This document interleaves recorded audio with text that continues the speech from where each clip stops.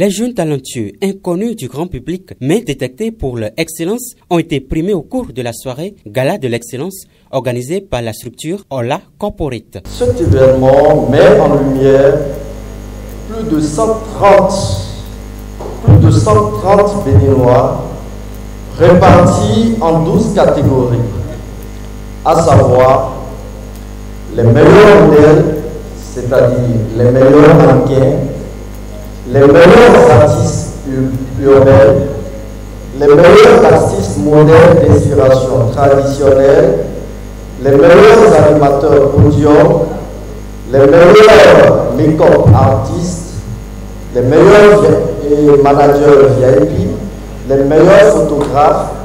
Le gala de l'excellence est donc une idéologie dont l'objectif est de faire éclore le potentiel qui sommeille en chaque Béninois. La direction générale du Fonds des arts et de la culture met un point d'honneur sur cet événement qui s'inscrit dans la vision du gouvernement. Ces jeunes ont eu cette initiative qui cadre avec la vision du gouvernement. Quand c'est bien, il faut l'encourager. Nous devons faire donc de ce genre d'initiative des modèles amener les autres à emboîter les pas à ceux qui font bien. Plusieurs réformes se mènent pour redorer le blason du monde des arts et de la culture au Bénin, un secteur qui constitue le deuxième levier pour le développement selon le PAG. Le chef de l'État a l'ambition d'amener les acteurs culturels des artistes à vivre de ce qu'ils font. C'est pour ça d'ailleurs qu'on ne parle plus du fonds d'aide on parle désormais du Fonds des arts et de la culture. Nous sommes en train de nous battre pour que tous les artistes du Bénin aient les mêmes chances d'accompagnement. Je voudrais préciser ici qu'un acteur culturel, ce n'est pas seulement les artistes, c'est tous ceux qui interviennent dans le domaine de la culture. Donc, y compris les journalistes culturels. Je sais pourquoi je le dis, y compris donc les journalistes culturels. Mais les, ressources du Fonds des arts de la culture ne se répartissent pas par département. C'est au mérite. Ce n'est pas parce que je suis du Bois-Roux ou des collines que je bénéficie. C'est parce que mon projet est structurant, comme accompagne.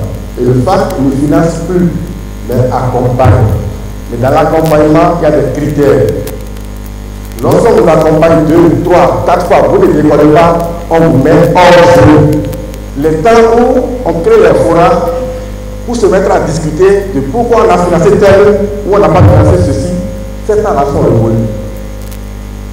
Nous allons nous occuper de ceux qui veulent réellement travailler, ceux qui pensent que ce qu'ils font peut leur donner à manger. Donc l'acteur culturel doit pouvoir vivre de son art. C'est pour cela que nous allons accompagner toutes les initiatives qui cadrent avec cette vision-là. Maintenant que c'est clair, nous savons tous à quoi s'en tenir. Pour les récipiendaires, cette distinction représente un autre point de départ vers plus d'excellence dans leurs différents domaines. Si vous êtes bon et qu'on vous distingue, il faut chercher à être encore plus bon pour qu'on vous distingue plus. L'infatigable DG FAC, vous avez constaté avec moi, depuis 20 heures, il est resté avec nous jusqu'à ce matin. C'est un amoureux de la culture et je suis très content de le voir par coup tout le temps. À chaque fois qu'il y a un truc dans le septentrion, dans le nord, il vient avec euh, tout l'amour qu'il a pour la culture et il nous le prouve. À chaque fois qu'on a besoin de lui dans le septentrion, il est là, il est présent avec nous. Nous le remercions nous lui disons merci. Après cette distinction, c'est d'abord une motivation nouvelle pour moi. Ensuite, c'est une autre responsabilité qui, euh, une fois encore, vient de, de m'être donnée. Et c'est un sentiment également de plaisir de joie de savoir que beaucoup de personnes sont présentes et voient le travail que nous faisons dans l'ombre. Et ces personnes-là, c'est le moment de leur dire merci. Cette distinction de gala de l'excellence n'est pas une fin en soi, c'est un, appel, c'est une euh, invite à mieux faire. Et c'est forcément cette distinction se présente comme un, un tremplin pour pouvoir gravir des échelons et arriver au sommet de l'art. Hormis les prix de distinction attribués, quatre prix honorifiques ont été décernés à quatre acteurs culturels pour leur engagement et activités pour le développement de la culture. Abonnez-vous à la chaîne MP Vision TV et activez la cloche de notification pour ne plus rater nos vidéos.